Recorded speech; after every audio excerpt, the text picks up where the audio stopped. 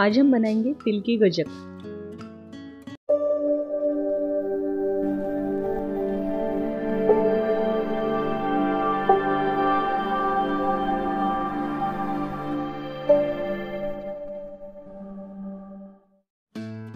इसके लिए हमें लगेगा एक कप तिल और एक कप गुड़ और तीन चम्मच घी। सबसे पहले हम गैस चालू करके कढ़ाई रखेंगे। कढ़ाई अच्छे से गर्म हो गई है। अब हम इसमें एक कप तिल डालेंगे। तिल को हम बढ़िया सा दो से तीन मिनट तक अच्छे से भून लेंगे। तिल को हमने अच्छे से ठंडा कर लिया है। सबसे पहले हम मिक्सर के जार में गुड़ डालेंगे और इसमें तिल डालेंगे। अब हम इसे एक मिक्सी के जार में डालेंगे और दरदरा पीस लेंगे।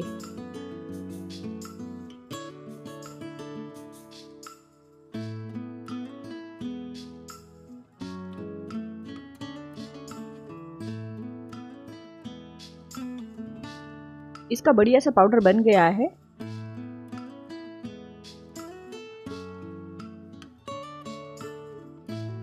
हमने गैस चालू करके कढ़ाई रखी है।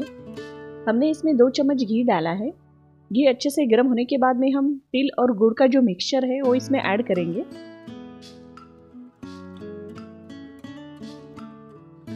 गजक बनाते समय तिल और गुड़ की क्वांटिटी जो है, वो सेम हमें रखनी है। इससे गजक अच्छी बनेगी।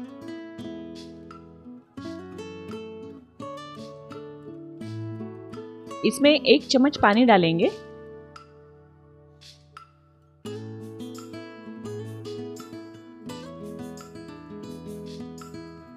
गजक का बैटर रेडी हो गया है। अब हम गैस का फ्लेम बंद कर देंगे और इसे एक थाली में निकाल लेंगे, जिसे हमने ग्रीस करके रखा था साइड में। अब हम बैटर को चम्मच की सहायता से अच्छे से फैलाएँगे।